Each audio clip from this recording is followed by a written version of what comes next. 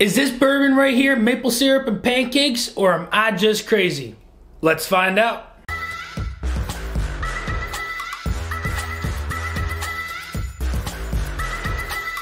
What is going on, everybody? Nathan here with the Everyday Drinker, bringing you guys a brand new video. On the bar top, we've got two bourbons that were sent to me from RD1, and I cannot wait to get into these glasses right here because I've had these poured for about 15 minutes now, and the noses coming out of these glasses is absolutely incredible. But before we get into the bottles themselves, I gotta thank you guys so much for the love and support. We have surpassed 4,400 subscribers on the channel, and we are on our way to 4,500. Keep giving the channel love. I love you for it. Drop that like if you enjoy the content. Smash the subscribe button for your chance to win a bottle of Blanton's and for my opportunity to open that bottle right there. And uh, if you've had your opportunity to try RD1, leave a comment down below on what your thought processes were on these offerings. I've got I'll let you know what we've got on the shelf. On the left hand side here, we've got the Kentucky Straight Bourbon Whiskey, double finished, and oak and maple barrels. This is coming in at 99.9 proof. And I did a little research on this bottle right here. This is not just regular American oak, it is finished with a French oak barrel that was then infused with maple syrup. And holy bajoli, I'll tell you right now, ugh that is incredibleness in a glass. And then on the right here, everybody is in this Amburana craze, right? And you guys know I how much I enjoy a nice Amburana finished bourbon. And, you know, my favorite is the Penelope uh, Rio. We've gotten the chance to try the barrel um, Amburana finish. And RD1 decided to come out with their own as well. So this is Kentucky Straight Bourbon Whiskey finished with a Brazilian Amburana wood. But this is coming in at 110 proof. So you can't go wrong with that, right? But before we get into drinking and nosing these bourbons, two things. Check out the Patreon. For as little as $2 a month, you can support the channel like you wouldn't believe. I will most likely be doing giveaways of samples of these two bottles right here so that you can get your chance to try it out. And we're getting into the chilly weather. If you want your chance, to get your everyday drinker sweatshirt swag, go check out the store. Link is down below. I just put out a new line of sweatshirts and hats and whatnot, so there's something for everybody to enjoy over at the store. So go check that out. And uh, without further ado, let's get in a bottle number one. We're gonna get another one on our left here, the maple barrel finished right? All right, so here we go. Um, so this is going to be kind of like a take on um, the, the, the, the, the, the, the Widow Jane Decadence, right? Maple barrel finished, right? But I can tell you right now, it's going to be a little bit more desserty than the Widow Jane Decadence. Because off of this nose, I'm getting a very, very mapley syrup, pancake batter punch to the face and it, it is very sweet. I will let you know that right now. It is sweet. But you still get the ambiance that there's bourbon in this glass. It, just, it lets you know that it's there, but the prevalent note is that sweet mapley aspect that comes through. And it's almost like I'm getting a lot of apple off of this and it's almost like you drizzled maple syrup on top of apples and then threw it in a pie and you had like a maple syrup apple pie in a way. Because I'm getting that breadiness, I'm getting that apple, but that maple syrup, spicy cinnamon coming through. It's one of those things that it just blends so well together. Maple syrup and bourbon belong together in a lot of ways. And this could very well be a really nice fall sipper. I'm not quite sure how many states this is sold in, but I know it's not here in Jersey. And I'm very, very glad that they sent these my way to do a review for you guys. But again, apples, bread, cinnamon, maple syrup are those prevalent notes that are coming out of this. And uh, without further ado, let's get into the palate and see if everything comes out from the nose onto the glass. Cheers. It drinks so pleasantly. At 99.9 proof, it's the maple, you, you get this maple quality coming through on it, but it also has a very rich vanilla. And I'm gonna guess that, that is coming from the French oak staves that were in that barrel. It drinks so light and easy, like a wheated bourbon does. But holy cow, it's it's it is almost as if you have pancakes and you just drizzled some maple syrup over top. But it's not, it's almost as if you just did your first layer maple syrup, right? You put that maple syrup and it sunk into the pancakes and that was your bite. You didn't have that extra layer of maple syrup on top where those pancakes are already saturated, and then you just have that extra maple syrup. These are it's just like a maple syrup drunken um, pancake without any extra on top, and it's got this little touch of like you did a little little dusting of cinnamon on top. A lot of people might say that this is a really good fall time sipper but I'm going to push this. And I'm going to say that this is a really good winter sipper. Like this is something that is like you would pour this Christmas morning. It's it's a holiday morning sipping an enjoyment like you wouldn't believe.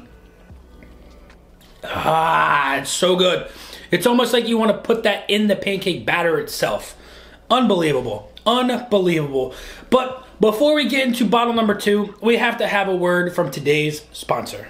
Hey man, what you doing over there? Oh, hey man, I want to Give 270's website. What are they doing? Another fundraiser? Oh, you betcha Give 270 is doing another fundraiser, and this one is amazing. They're giving away a truck this time, a 2023 F-150 Lightning Lariat Edition, along with a Weller Full Proof bottle on the passenger seat. And that's not it. They're also giving away bottles of bourbon. Says right here, now through October 25th at 7 p.m. Eastern Standard Time, purchase a $100 ticket to support this exciting fundraiser and get your chance to win. Each ticket has a chance to win a grand prize, the big grand prize, that 2023 Ford F-150 Lightning Lariat long range, and a bottle of Weller Full Proof or one of the 49 bourbon prizes during the live drawing on Wednesday, October 25th. But the one thing is, is they have to sell 3,500 tickets for them to give away that truck. So let's make sure that everybody knows that to go to give270.org to go purchase their $100 ticket to get their chance to win a freaking truck.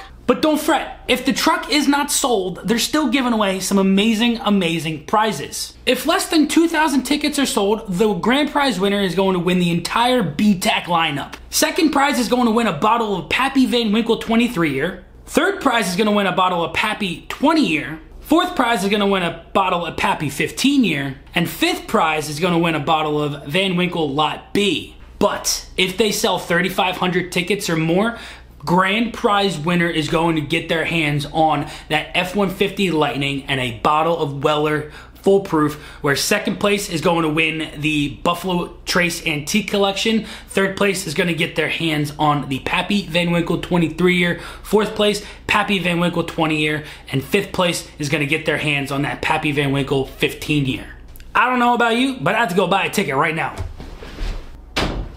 but you're running away from your laptop. You have to buy it on there. So make sure to go check out give270.org for your chance to win some amazing bottles of bourbon along with the opportunity to walk away with the grand prize of a Ford F-150 Lightning Lariat Edition.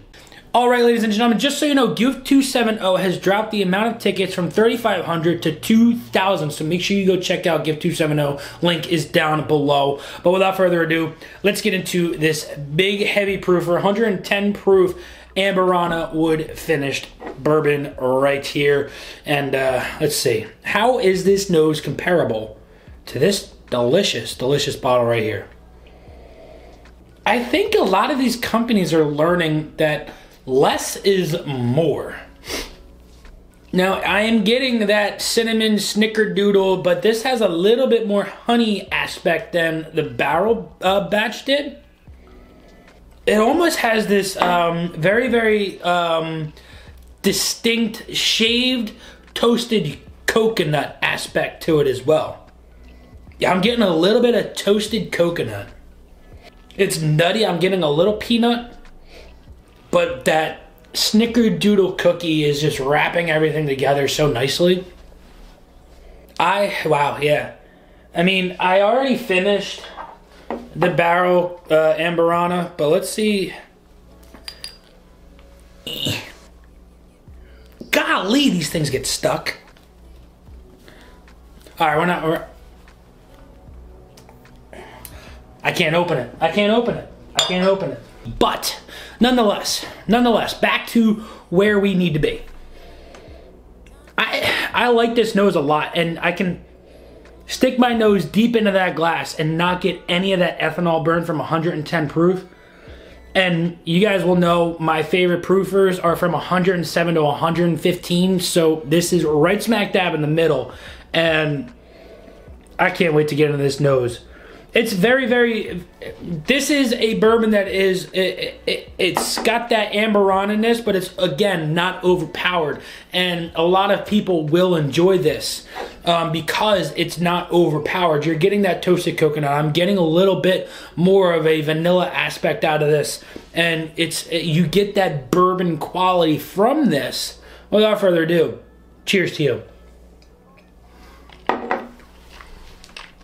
It's oak forward. It really is. You're not getting that Amburana oak forwardness. This is original oaky um, coming through. I'm getting a little bit more of a peanut aspect off of this. It's very dry, it's very nutty. But then on that tail end, you're getting that swish of cinnamon that comes through, and the finish more or less has that Amburana quality, whereas a lot of other Amburana uh, finished bourbons have the Amburana quality on the initial and then it subsides at the end. But this comes through at the end and you're getting that more bourbon quality coming through on the beginning. Oh yeah, that is a it's a different ride compared to everything I Amburana finished I've had so far. And I mean, I don't know if you guys can see those legs, but holy cow, is that bad boy thick. She thick right there. She's thick and she's delicious. And again, Amburana is something that I would tend to lean towards in the fall time. And I'll let you know that this is a fall time sipper as well. But like I said, this maple barrel finished RD1 is a really, really good go into the winter kind of bourbon. And man, these are both really good bottles. I believe they're also both under 70 bucks MSRP, which you can't go wrong with whatsoever. So if I had to pick my favorite out of the two, you guys are going to be surprised at this again.